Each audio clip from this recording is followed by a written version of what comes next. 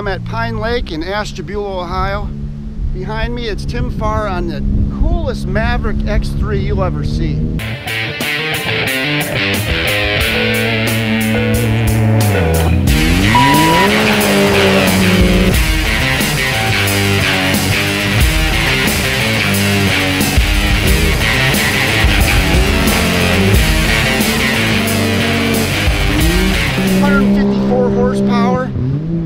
113 foot-pounds of torque, 72 inches wide, two foot of travel, which they don't have in this. This is Tim's short course car, which means they've lightened things up, made it more like a TT machine. There's some titanium stuff on it. There's some uh, really neat stuff. The front end's all dialed in where they can adjust everything. It's not your typical uh, side-by-side. -side. Thing, going fast on a short course. So today is testing and tuning day. What they're doing today is, is dialing in the shocks, trying new tire setups. They're uh, getting the, the ride height perfect. You really don't get that kind of testing with a short course machine. Usually you show up at a race and you you got a heat race and a main and there's no real great place to go test. But since Tim grew up here in Conneaut, Ohio, good friends with Bud Fischer and the whole facility, they've got Pine Lake to their disposal here. That's Bud Fischer. remember, remember three wheelers were here once. Here we are, 2017, and it's side by sides, and but it's still Tim Farr. he was racing a three wheeler. Grew up in your your property, yeah. and here we are, and uh, we're today we're testing uh, stuff. Did you ever see the think the side by sides would take over like they have lately? Did you see it coming? No, not as big as it's gotten, no. It's pretty valuable to be able to come to old stomping grounds at Pine Lake and test like you are today. It's pretty cool. That's awesome. Especially living in Florida now. You gotta feel like, man, this is home. It is home. It's nice to come and, here. And fans yep. came out of the yeah. woodwork. Did you see them all on the fence? It's yep. like, yeah, it's it gotta cool. be cool for you because um, they know who you are. You're like, cool. you're like a hero around here. You're going after that TORC series, huh? That's that's the one you want more than GNCC, isn't it? Yeah, I enjoy it. I mean, it's more my kind of racing, so I like GNCC. It's an awesome series. It's a lot of fun, but uh, short course is pretty cool. Yeah, you've always excelled at TT, even though you're really good at motocross. Um, something about TT and you, it just I can tell this is your forte right here. Jodi, Tim says you're the one that's got to give us the walk through the car. Walk through the car? He doesn't know anything about it. He just turns the wheel on. You got a gas pedal, pushes a on, pedal, he pushes on wheel. the gas pedal, and that's it. yeah. But um, What do you want to know? I uh, will just get a walk through here and show us the insides of the car here. Now's a good time as any, right? Might as well. Yeah, All right, so we've got uh, a 2017 Can-Am X3 Maverick. This is the turbocharged, 154 horse. Holy cow. 72 inches wide, and you've made some serious changes to make this thing what I think is one of the coolest Mavericks X3s we'll see. We had to take the stock cage off. Okay. Had to make a new roll cage. We had to take all the side doors, stock doors off. We had to build all, the, get over there, all the tubes we had to weld in. That's all the specs for the TORC Series. Okay. Had to put the window net in the driver's side, which is here. Gotta Okay. have that. Of course, we gotta have a full containment seat. Okay. Uh, I don't even need the passenger seat. No passenger not seat. GNCC. They No. don't. Nobody races with a passenger. no passenger, yeah, you ain't allowed passenger. Okay. Got the um, five-point harness. Gotta have that. Fire extinguisher that's mounted over there. Gotta have the dead man switch in case you got electric problems, kill all the electrics and shut the car off. Steering quickener, removable steering wheel. Yep.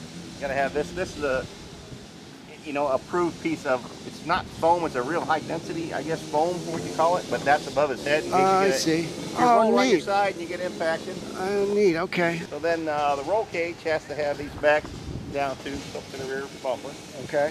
for rollover. And we're using a HMS bumper stuff Yeah. mounted to HMS your front rear to bumper. Okay. Made our roll cage adapt to it. Okay. Uh, we built the bottom bumper. We were having a lot of people hitting our radius rods and whatnot and bending them, so we built that to Oh, protect I the back of our car. I see what you're doing here. You've got uh, um, to protection. Uh, neat. Oh, you Well- don't see that very Well, the first race we bent That's- several of them rods. People kept running into us. I so like it. We had necessity. We built that. You saw that, didn't you? Yeah, well, I had to. That's good. Very I got cool. tired of changing them rods. Yeah, that's a DNF too, so why not? Oh, yeah. I like where you're going. So HMS exhaust, they built us a special You got on the exhaust. side, okay. Comes out the side instead of the middle, lighter, smaller. Oh, that's a handmade, just a Yeah, special one. Hans That, built a special exhaust for this turbo car. but HMS makes some good stuff. Yeah, we got a remote oil filter. Uh, hooked to an oil cooler. Why is that? What was wrong with the stuff? Uh, just with the extra tune we got, that thing was running hot, so we had to add some more cooling. We put this bigger radiator. We built that, bought the radiator out of a race car, and we custom fitted it in here. Got all the right fittings. Uh, we got no cooling issues now. We can get, get more power now. While we're back here, you, anything different with the air intake? What's stock? Air Not stock air filter, stock air intake. It's getting enough mass Yeah. of air through there? Okay, nice. Yep. So Which is good, because you ever get a wet race or something, you've got the air Yeah. box, you're not Uh, yeah, we're not wide open. I like it. yeah, make a narrow car too, a 64 inch car, which is what this one was. So, Okay, so if you notice our back, we got offset wheels. I see. So this didn't take birth as a 72, it takes, it was a, a 64. 64. Yeah. I, know, I see where you're going. So now you can go anywhere you want. Yeah, we can't go over 74 or 72 inches, so we did the, the wheels in the back, so we got the arms in the front, Yeah, so we, we got a lot of options. nice. What else? You got another HMF front end? Different axles, of course, to, to work with the A-arms. So the, somebody handmade custom- those axles? Yeah, they're custom made. Summers Brothers built them out of California Neat. for us. Are those stock uh, spindles and everything Yeah, up there? spindles, hubs, brakes, all that stuff's all stock. Why I mess with it. Tie It's rod ends stuff. Stock. I built the brakes. tie rods a little heavier. Stock ones are aluminum, Okay. but the ends and all that stock. Steering rack, differential, all stock stuff. Boy, and then the screen, that's for roosting rocks and stuff? Yeah, we get big rocks thrown in them. Yeah, why, why take a you rock? well, you have to have it. That's part Okay. of the rules. Are other competitors running stock engines in these X3s? I or- think X, a lot of guys X3s are just messing with the tuners, Yeah, you can get so much horse there. and it's So- reliable. Right on. Uh, 154 horse. I couldn't believe it when they stock, told me that. I was like, no way. You can't get that much power out of it. And they are. Yeah. You, you know, you put it on a dyno. yeah, we've been running on a dyno for days, and yeah, we And- play with clutches. So it, are you over 154? Not at the rear wheels. Okay. So their We- claim number is That's the not- engine. Okay. They were, you're sense, right around 140 at the rear wheels. I got you. We talked to several people today about making the 804 run as good as it does. Uh, right now, Tim and George are back there measuring wheel, measuring widths and everything. George, what do we got going here with these shocks? These Uh, are uh, not stock, I take it. Well, they, they're OEM shocks. Uh, That's something that a lot of people might not realize. You're Yeah, using they- stock stuff and making the stock stuff better. they're just shocks that's off of a 64 inch car Okay. um, that we've revalved and resprung. So the, the stock Maverick X3 comes with 24 inches of wheel travel. You're nowhere near that today, right? Uh, no. This thing is probably 12 inches of wheel travel, right? Uh, I can't really tell you that. oh, okay, we're, we're gonna, trying to get some secrets for you guys, but it's not working out. This is almost like the old Keith Little TT days when you guys would tinker with titanium stuff and making it really like you. Of all people, I remember you had Yeah, some really yeah. cool stuff back then on the TT end of things, and uh, I know you're smiling because this is kind of like that those days we, again, right? I mean, this is a TT machine, right? it pretty much is. Uh, TORC's very similar to TT racing. And, uh, not bigger jumps. Okay. So, but that's the challenging part to the suspension is uh, the cars need to be low and, and not get a lot of body roll or anything like that. They got to stay flat, but Mhm. As low as they are and as minimal travel as we're running, they still got to be able to absorb some pretty big impacts. Right on. Because there's places that they're flying well over 150 foot. It's kind of cool that the shock guy is working with the front end guy right as I speak here. Jodi, this is a ARM system that you created just out of the blue. How did you come up with these specs? Uh, we got rules for the width, so Okay. that's what we were working with. But it looks like a quad setup, Oh, yeah, similar very to what you make with your quad, which is Oh kind of neat. and we made them adjustable so we can adjust things. The original can't adjust nothing, so. This year's been a real big learning experience for uh, for me personally. It is cool. It's like we're back in 1986 or something again, and Yeah. we're, we're dialing in stock uh, Suzuki quad racers. putting sway bars on them and figuring stuff out. It's the same thing Yeah, as the old yeah. 80s, 1980s, which we were a part of. Pretty Yeah. cool. Speaking of sway bars, I, I'm going to get a shameless plug in here. Oh but, uh, yeah, we were looking. This is a you. You don't just make sway bars for YXZs anymore. Yeah, make it for well. I, well, and I also made one for the Razor. Uh, my Razor bar Oh, is yeah, actually right. sold through Z Brothers. Okay. Um, but the Yamaha bar Mhm. is, is mine, and then this is our prototype. Uh, we have one on this car and one on Hunter Miller's car, um, and we've been trying to test to find out what exact rate we want to use and different things. Because I make all my own bars. They are the best sway bar I've ever seen. It's just sharp. They I mean, work. You can tell you're not messing around. It's overbuilt. What you've done with your shocks and to get to work with some of the same people that we've grown up with. I know, it's crazy. You and Keith, and then and Keith, your big competitor was Tim at these quad races.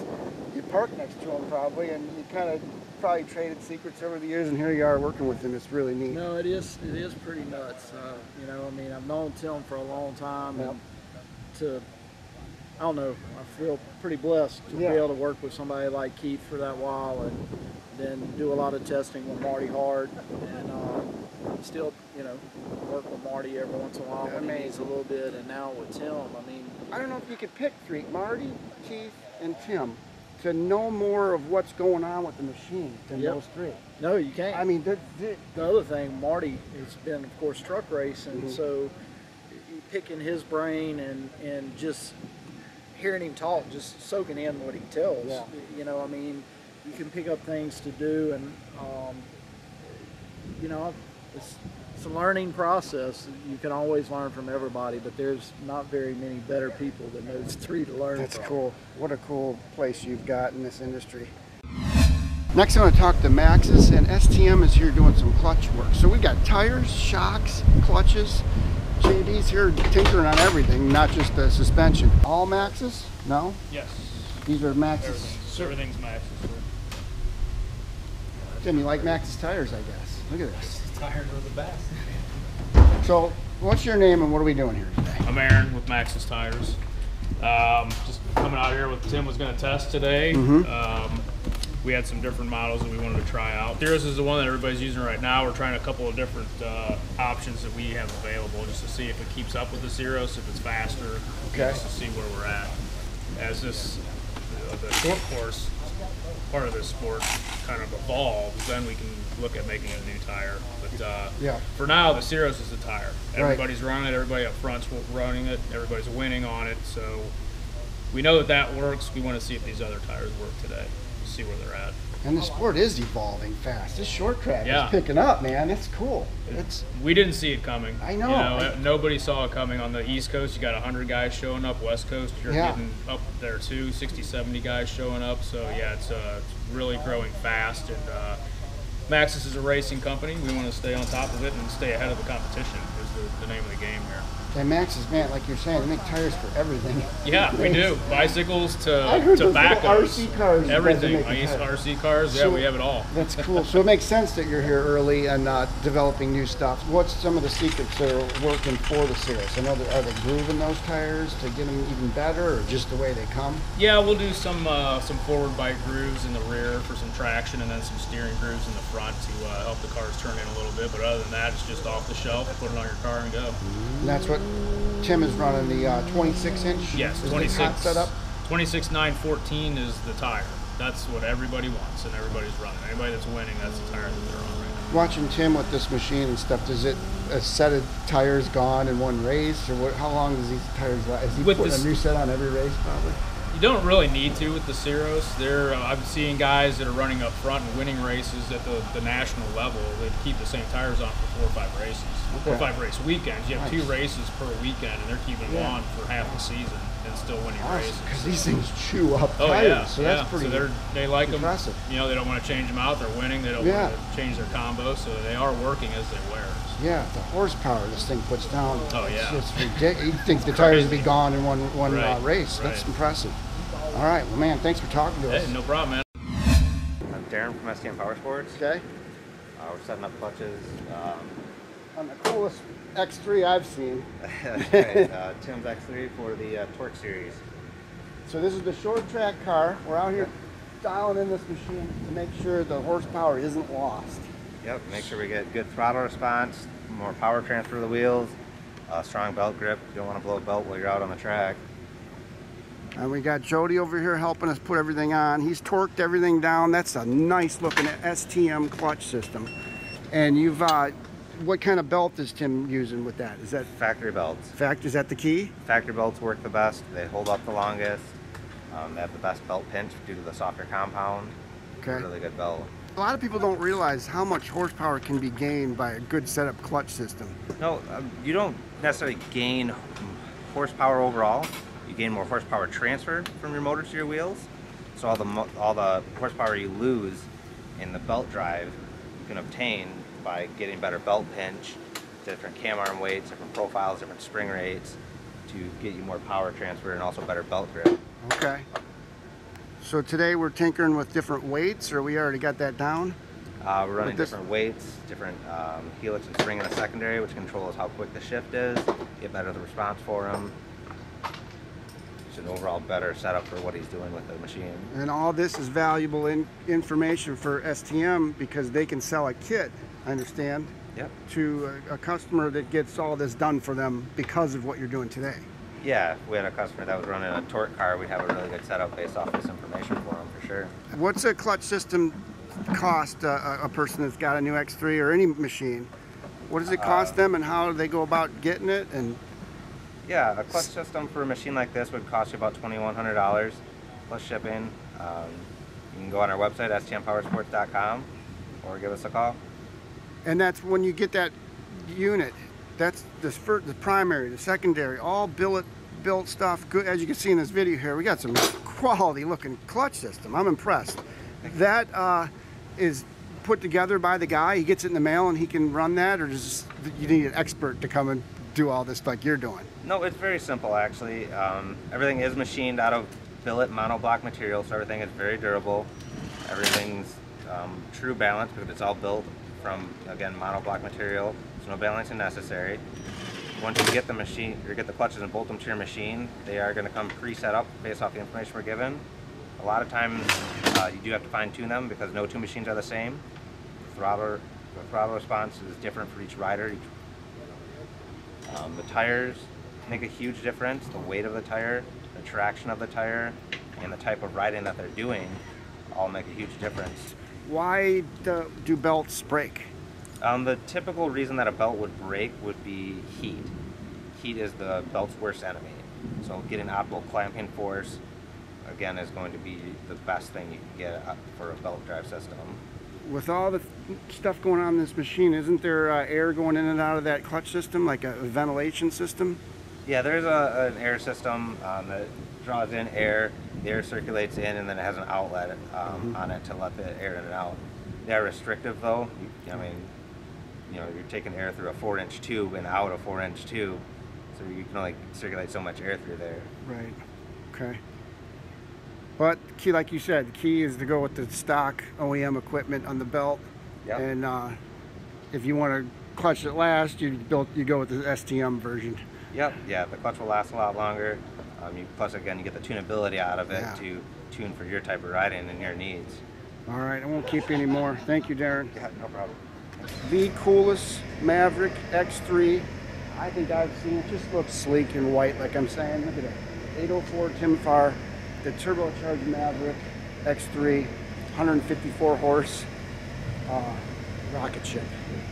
If you're interested in watching Tim race today, it was just a practice day. You got to see this guy race, man. It's a great series. A lot of good talent racing in it. But TORCSeries.com is where you can see them. And uh, they even stream live video there too if you can't make it. TORCSeries.com.